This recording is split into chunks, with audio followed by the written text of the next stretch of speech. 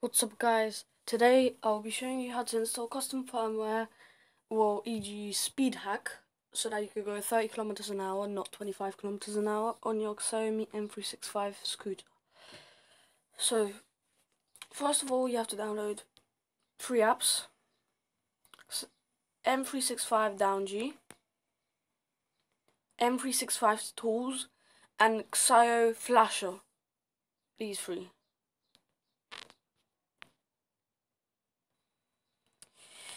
And once you have installed these apps, you need to go to the first app, Xiao Flasher. You have to allow Bluetooth, so you can connect to your scooter. Uh, in my case, I have to turn on my scooter. And we need to wait a second. Here's the scooter, just connected. I just need to press the power button. Okay. So now you select the zip file you want to download. So in your case, if you have the newest scooter, like more than 2019, like further than 2019, then you have to install BLE072 M365 because BLE091 is the one you just have. But without the BLE072, you won't be able to use the Flash custom firmware. So you click on this, and now you just Flash selected zip file. And now it's just a contribution time. You don't have to contribute. In my case, I won't.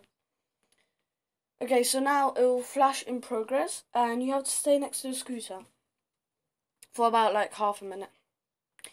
And it's gonna download the BLE72 on your scooter, which is like an older version, so that you could download the Flash custom firmware.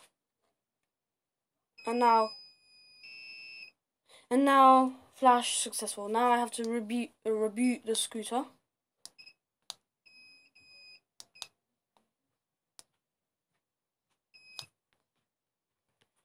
Now you go into the M365 DownG app again.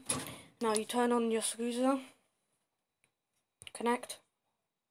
Mi Scooter 882. So now you have to wait a few seconds.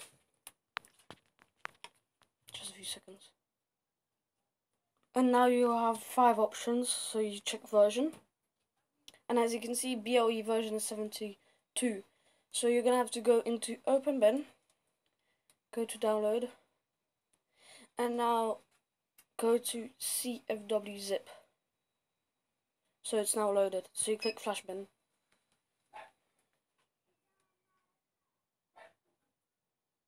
And now it will take a minute to download. 20%. So now it's at 80%, just 20 more percent, and your scooter will be done. Give it a second. Now it's done, and from now on, your scooter can go 30 kilometers an hour.